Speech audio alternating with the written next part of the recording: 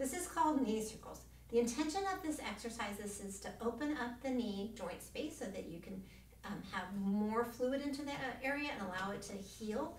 Um, it's great for knee pain and relieving the knee pain. So you want to be able to hold on to something, bring your knee up a little less than 45 degrees and allow the lower leg to be heavy. From here, you're going to swing the leg back and forth 10 times. No pain should be um, felt during this time. You should be able to go back and forth, heavy leg, nice stretch from the inside and the outside of the ligaments, allowing that knee to open up and to get more fluid in there. Once you've done 10 of those, you're gonna go back and forth 10 times.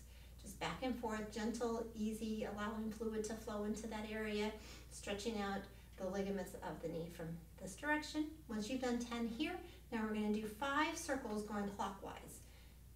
Again, nice and easy, five of those going one way, you're gonna stop, and you're gonna do five of them going the other way.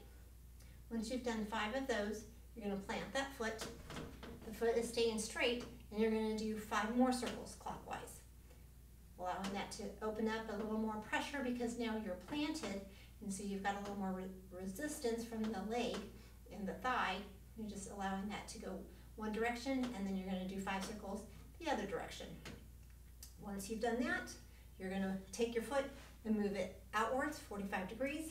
You're gonna go inward clockwise, do five circles, stop, and then you're gonna go the other direction, five circles. Once you've done that, you're gonna turn the foot inward and you're gonna do five circles clockwise. Once you've done that, you're gonna go do five circles counterclockwise.